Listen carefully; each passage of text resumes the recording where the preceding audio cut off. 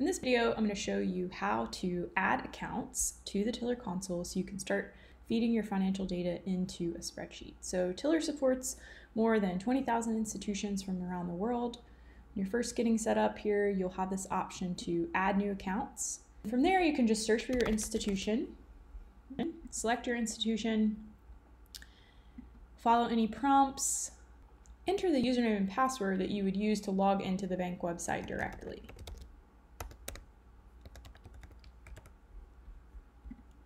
You may need to enter a security code sent via email or text message.